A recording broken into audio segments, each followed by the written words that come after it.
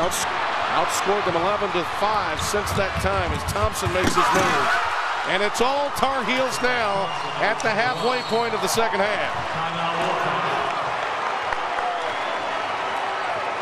And it's been all on the defensive end of the floor, Tim, getting uh, steals, turnovers, and turning them into points in transition.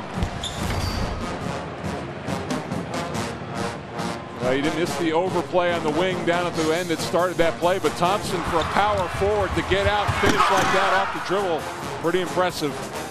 Deon Thompson's having a, a solid game tonight. He's up to 14 points. And, and Mike,